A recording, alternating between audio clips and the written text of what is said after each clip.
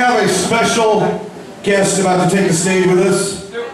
All the way from Australia, we want you to give a big warm welcome for this guy. Let me fucking get the resume out. A band called Dungeon, which is one of the biggest fucking metal bands that was in Australia.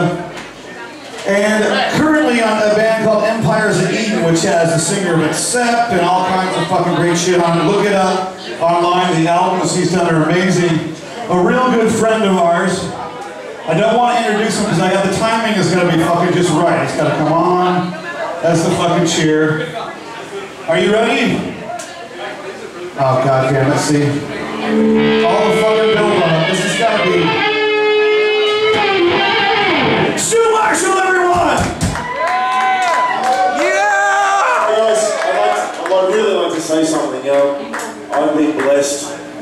Blessed for the last couple of days to uh, hang with some of the most generous, uh, talented, and uh, amazing guys. And I just want to thank uh, Cage for taking me out on the road for three days. We've been touring all over.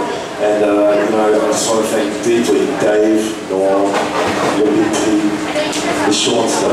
That's very nice. Give it up, man. Well, thanks for having me. And, uh, this is one of the best. I, I think. I think I like this place. It's a beautiful country. I like this place.